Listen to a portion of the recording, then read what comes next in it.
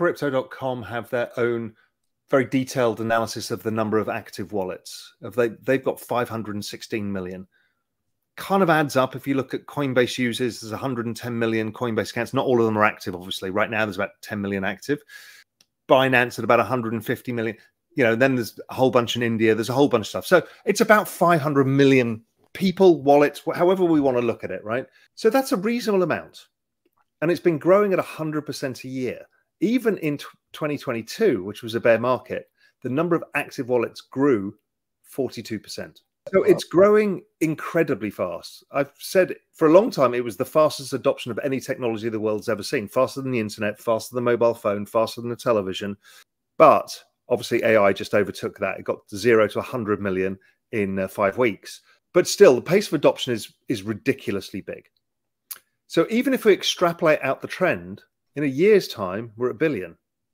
Maybe it's maybe the trend slows. Maybe it's 750 million by the end of 2024 and then you know you very soon get to very large numbers two three four billion people which is kind of when you get a more saturated market so we are still early but we're not super early you know and i i would suggest that the cycle that lies ahead that we've started is probably the cycle i refer to as the everything everywhere all at once cycle where we do see adoption from every angle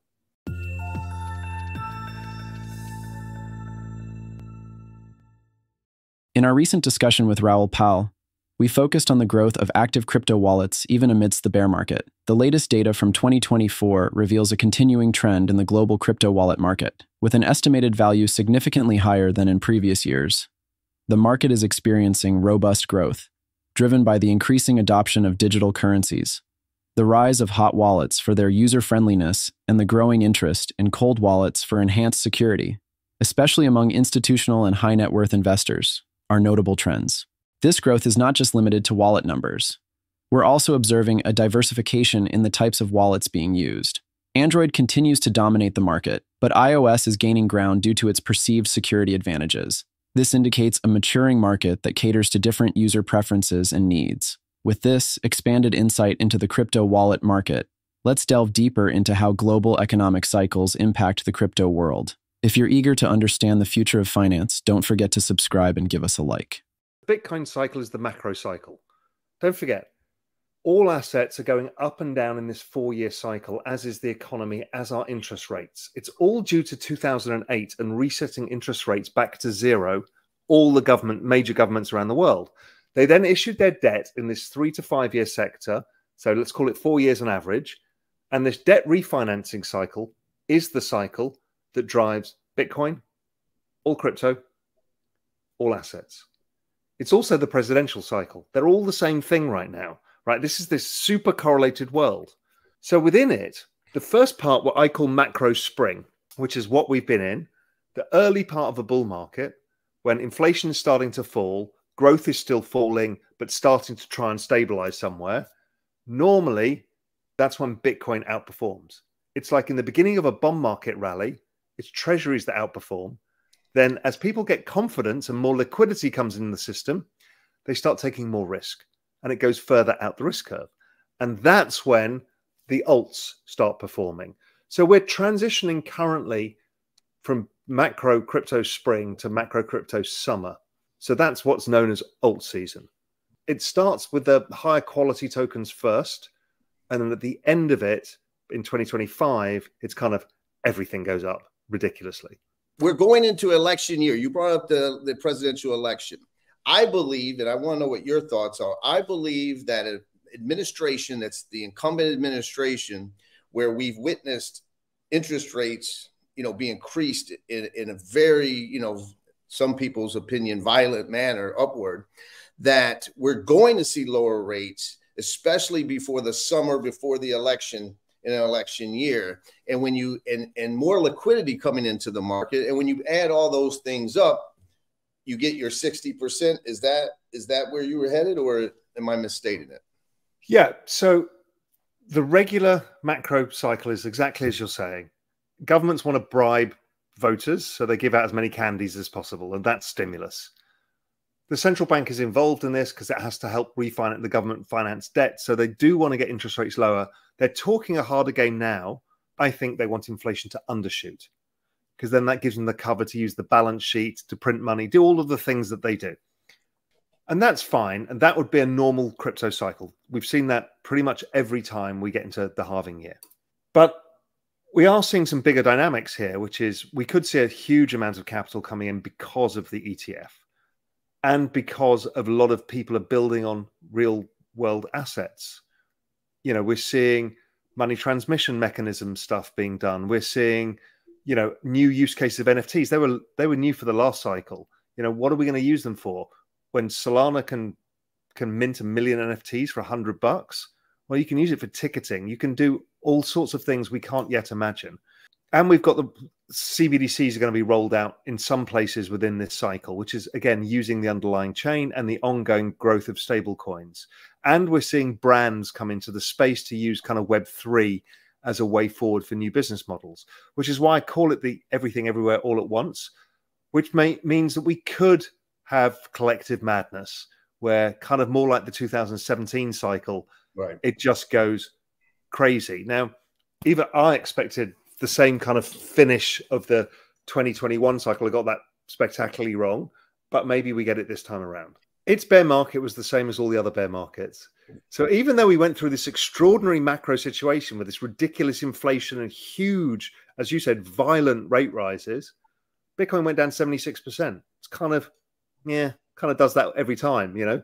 And so I think just what happens is as liquidity comes out of the system, liquidity comes out of cryptocurrencies, as it does out of emerging markets, as it does out of commodities, as it does out of all of these things.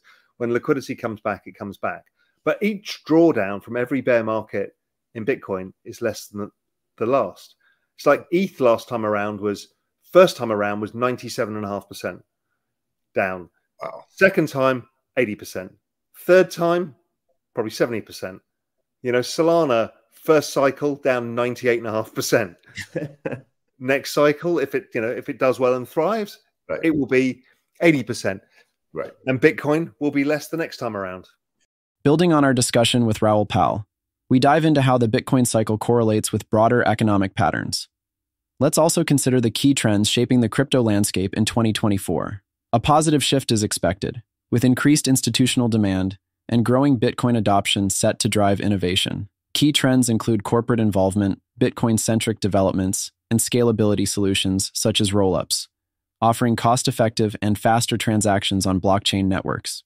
The global economic landscape, including shifts in interest rates and government policies, is directly impacting the crypto market. For instance, the anticipated approval of spot Bitcoin ETFs is expected to be a major business driver in 2024, offering diverse investment opportunities and further integrating Bitcoin into the mainstream financial system.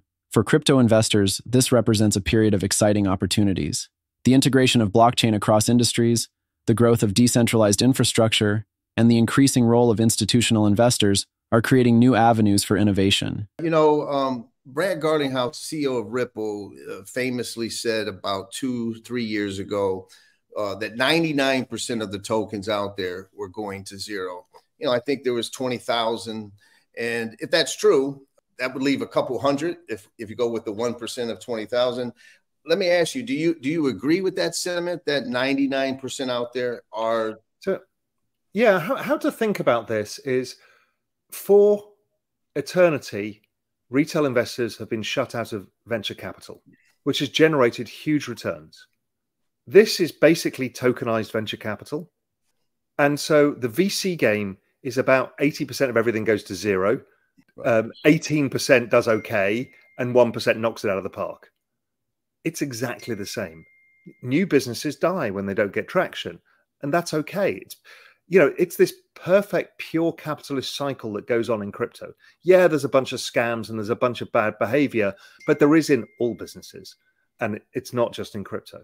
Do you think, since we're going to talk about the United States, that the incumbents have seen you can't kill it, so let's crush it. So maybe you know the the uh, Larry Finks and the BlackRocks they come in and they get a bigger piece, or do you think I'm just got the tinfoil hat on there? I think there's multiple attack vectors going on here. One is government, because government has a monopoly on money and violence. And, you know, when, when you are the world's reserve currency, you're very nervous of making a wrong move. Right? We've seen this repeated. I've written about this on Twitter. After the US left the gold standard, they tried to stop capital flight, had capital controls. So the UK started the FX market, which is the largest market the world has ever seen, because you know South Africa wants to trade with the UK and dollars come in the middle, and we're like, well, we need we need an FX market to trade because we're not using gold anymore. Then it happened with the eurodollar market because the US banks were not allowed to lend internationally.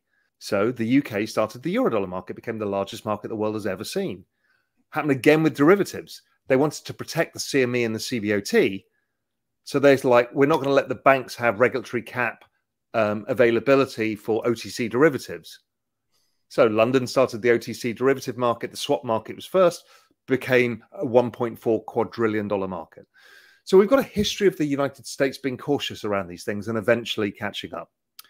So that's what I think Liz Warren is. There's some nervousness around that.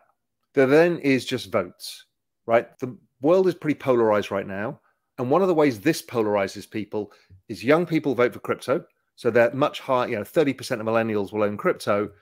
Of the baby boomers, much less. Liz Warren is a poster child for the baby boomers. Right. So she's trying to get votes, which is the we fear change crowd, which is the older people who like, um, I'm, I know what I know and I like what I like. So I think it's it's political and it's also out of fear over control, control over money and the US has control over money and it, and it can sense that something's changing, even though stable coins have actually made it more dollarized. Right. The banks, from as far as I'm aware, forget what Jamie Dimon says, because he's got a monopoly basically of banking, but all of the banks know that blockchain technology is the solution, every one of them, and they're all working on it. So they're not really fighting us at all. They're just shit scared of Liz Warren and Gensler right? That's the real problem here is they can't move forwards. You know, do you think Goldman wants an OTC trading desk for crypto? Of course it does, but it's still worried. Still worried about what it can do. The asset management firms haven't been able to create products because they don't know who's going to get sued. And so that's the issue here is for some reason Liz Warren has been given control over the financial system by Biden and Gensler is her puppet. Each bear market in Bitcoin's history has been less severe than the last, signaling the growing maturity of the crypto market. The recent bear market demonstrated resilience in specific cryptocurrencies, with less severe downturns than previous cycles. This suggests a growing maturity and stability in the crypto ecosystem, supported by the increasing use of cryptocurrencies as a long term store of value. Looking towards the future, it's clear that the crypto world is more than just currencies. It's a technological revolution reshaping our digital landscape. From finance to art, blockchain is paving the way for innovative solutions. If you found this analysis helpful, don't forget to subscribe and hit the like button.